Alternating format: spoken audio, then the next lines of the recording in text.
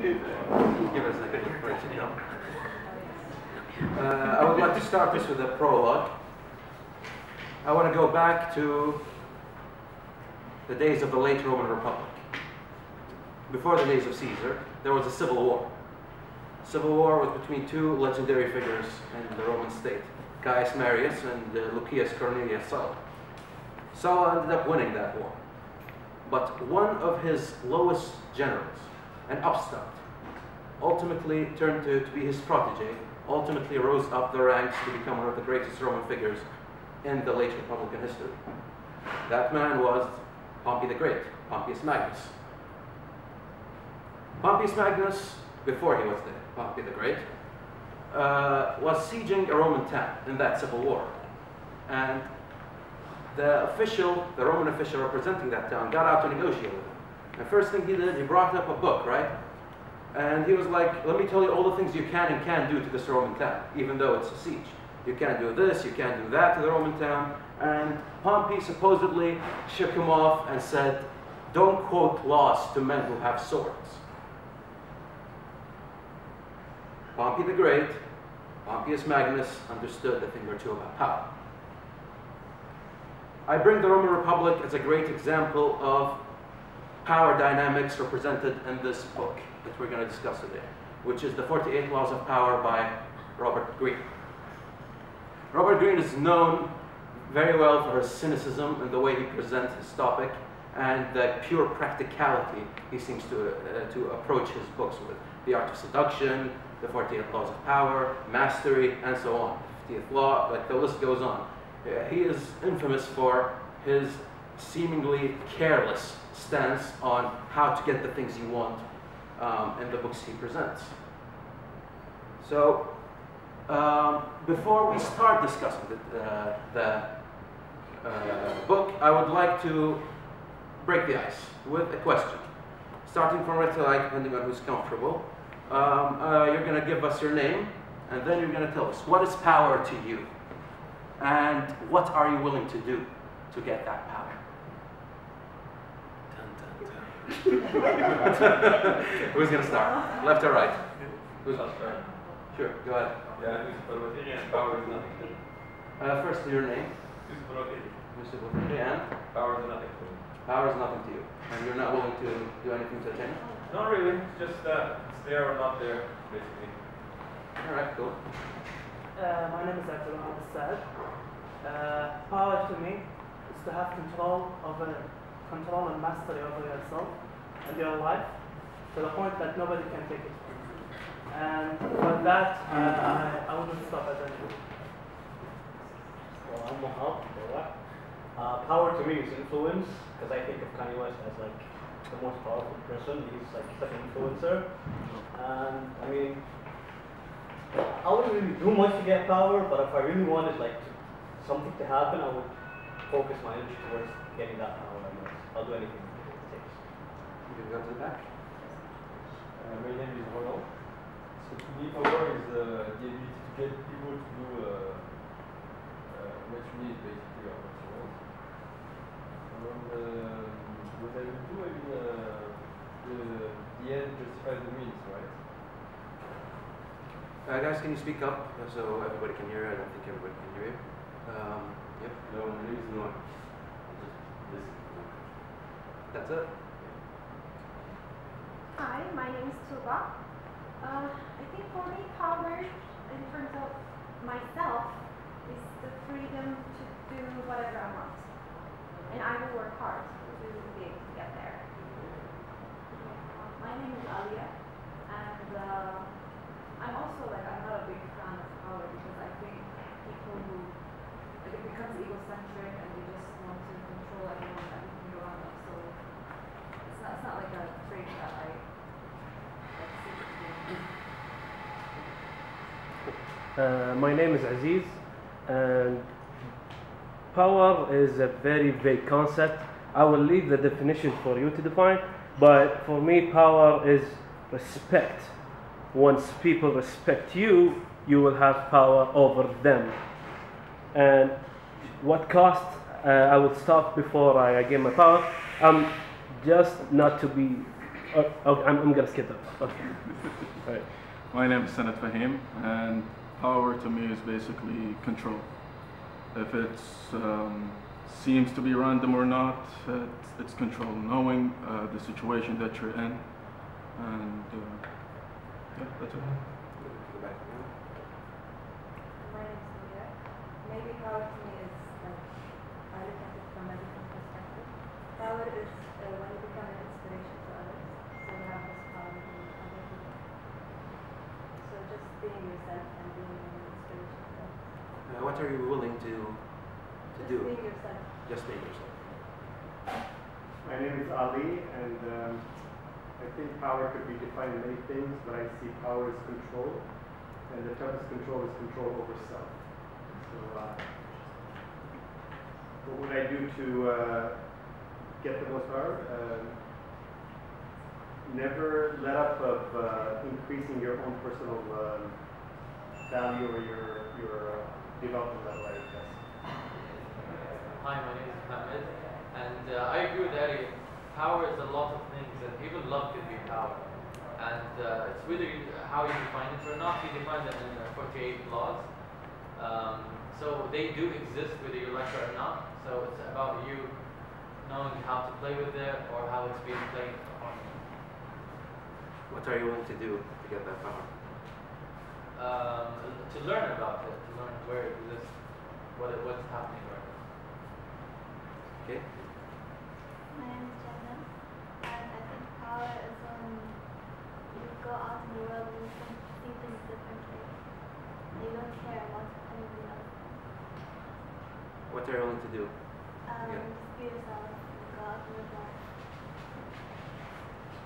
Um, my name is Abdul, and I believe power is having several means at your disposal. So having lots of options, and that is freedom. And I think it takes a lot of practice to get to that. Um, I'm really here to spectate, but um, power could kind of be an illusion sometimes. We always have this illusion of power, control. I'm not sure. You want to share? No, I prefer not to comment. Actually, thank. Uh, at least your name. Is my. Hello. Yes, Linda, sorry. Hi there. Remember me? from yes. Hi there. We were in class together. Grade four. Um, hello, my name is Hamed. To me, power, I can only see it from like the physics perspective of it. So it's the ability to do work, honestly. And you can't apply that to actual people. So if you apply it, you can affect and spend energy to control and affect people. And what units are you willing to spend to get that power, to get that work? It's whatever energy I have or willing to spend. You know? Um, well, I think everyone's covered a lot of things with power. I think the one one thing about power is you know when, when it's not there or when you don't have it. So that's maybe a good way to define it because it's very clear when it's not there that you're you're not able to do what you need to do or or manipulate things the way you want them to be. So I guess what you're prepared to do that is just to try to have a, a degree of control, What I you willing to do? try and maintain control of your life. Uh, what's your name again? I've forgotten. You forgot your name. R- Robin. Robin. Hello, Robin. Uh, hello, my name is Freya Lugaro. Uh, power is when you have freedom of choice. What are you willing to do to get that freedom of choice? Fight for it. Fight for it? Right. Uh, my name is Amir. I think uh, power is very uh, subjective, and uh, I think to gain power in a certain uh, field, you have to be, or for me, I would try to be as objective as possible to gain that power in that certain aspect. All right, we're going to go to the back, left or right. Hi everyone, my name is Mohammed Siloun, and I believe power is knowledge.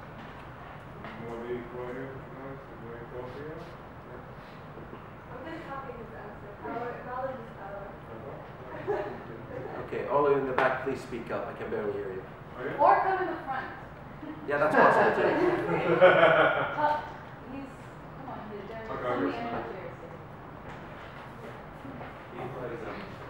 That is power. Uh, Yeah. Okay? Evening, everyone. My name is Nasser. And my second what the the good lady said about power being an illusion that everyone is in on. So what I would do is like try to get rid of illusion in my life. Alright. Uh, my name is Yusuf. Thank you for the stuff. I think we have covered. Uh, my name is Mohammed. Uh, I think power is the ability to exert change the world. And uh, if I had noble intentions to exert positive change, I would do anything it takes to have power. if, yes. Right? Hi, my name is Jason. I don't know what power is, but I think we're gonna find out what everybody thinks tonight. Hi, my name is Sarah. I think power is having an impact and when and with others, others when. Hi, my name is Kadra. I think power is the ability to make something happen using a variety of uh, different leadership skills. Um, one leadership skill that I think connects to power is transformational leadership. So having the ability to go and influence someone and make a difference in others' lives. What are you willing to do to get that What power? am I willing to do? Um, I think probably try to make change and try to impact those who do believe that they don't have the ability to make that difference. Hi, my name is Ala, and power to me is le- learning to love yourself. And when I'm able to do anything else. All right. What's your answer? My answer? Uh, power to me is the ability to influence, whatever it is. Myself, others, elements, whatever it is, if I can influence it, then that I have power. What am I willing to do? Honestly, not much. Because I don't, uh, things influence themselves, I don't need to do anything. Now that we've all introduced ourselves, ooh, okay. Okay, you came just in time for the icebreaker question. Introduce yourself. Uh, tell us what you consider power is. and what are you willing to do to get it? I know you're on the spot, but it's fun. Go Your for it. ID number. Um, Name? uh, my name is Noura Asker, and I'm a techpreneur um, and a clinical nutritionist by profession. Uh, what do I think power is? Yes. Greatness. Okay, that's a new answer, right? Nobody said greatness. That's great. Um, what are you willing to do to get those that greatness? Um, anything that within my potential, but that's that's also ethical and Ethical. with and sort of within moral Boundaries. boundaries. Yep. All right. Now that everybody introduced themselves and what they consider power to be, uh, for anybody who, read the book, or at least the summary or um, a video on it or whatever, there was plenty of content out there. Was it a good revelation or a frightening idea what the book presented? Quite frightening. I read the book a couple years ago, it's been some time, so I don't remember everything, but when I saw your post on it on uh, Instagram, I thought I'd have to see what other people think about it because some of his sentences, I said to myself, I don't want to treat people like this, and I don't want people to treat me like this. So it was really, really frightening. Um, I, uh, I used to have this book in my bookshelf in my office in the US, and then I removed it because uh, people who know about that book, they will have different understanding of what it means. But what I think of it is, it's reality. Whether we like it or not, it's there. So you have to know what it is, and you, so you are not being, you know when you're uh, uh, being uh, influenced in the wrong way, so you can catch it. So it doesn't mean that you have to be. Uh, In the back, you want to say something? Uh, okay. Uh, A good example of um, the book is literally like any book I read about how to raise your children. It's exactly the same. It's exactly the same because it's how to raise your children books is all about per- perfection, but how to get it down to your level is what you want from that book. So that book has a lot of things that we are frightened to do, we, are, we don't want to do, but there's a lot of content in that book. If we get it down to our level, we may achieve something. Um, speaking about the Instagram post, when we were posting two laws a day, uh, many of the comments were like, um, this doesn't have Ramadan vibes to it. and, and some were like, this is the devil's notebook, what is this book? But it's interesting. Uh, people, whether they like it or not, like th- these are in, in your everyday life, whether you, you like it or not. So I think if you be aware of it, it's more like you can understand what's happening. Not necessarily the devil's notebook, but, but it's good to know that these laws exist. I think it's good to be armed with it because sometimes you might go along life and you know, see things from your perspective, but that's not really how reality is. You have to have a bit more of sort of such insights, I think. Uh, I think it's a little bit of both. It's frightening and it's a revelation at the same time. And I have to take it back to Kanye West one more time and say, because he just dropped a new album and it's fire, by the way, everybody needs to hear it. But he, he had this line that says, the most beautiful thoughts are always beside the darkest. So that's kind of something that has to do with this book, I guess. The first time I read this book a couple of years ago, I skimmed through it, uh, it really freaked me out because I started seeing people that were maybe not so nice through that lens that the book was offering. And I started double guessing their intentions, like, oh, maybe this is what they were saying when they were saying that. But um, after reading it, this like two years on, uh, I read it just as it is, and you have to take like no matter what book it is, you have to read it for what it is, but not and not um, yeah, not judge it, but uh, it is applicable. Maybe not every law, but a a lot of the laws can be applied to you personally for your own personal success. I think. And the others exist. Uh, I I didn't read the book for a long time. I only started yesterday, to be honest. Uh, but to me, the book was amazing actually, because it's like the book takes a weapon and puts it in your hand, and your reaction to that weapon tells you a lot about yourself. How do you handle power? Now you're in power. How do you handle this?